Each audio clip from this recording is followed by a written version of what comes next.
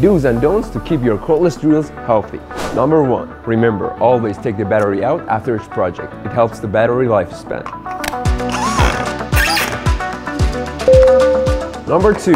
Avoid overcharging and discharging the battery. It also helps the efficiency and the lifespan.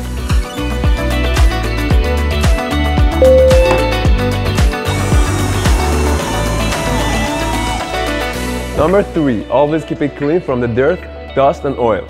It keeps it running smoothly.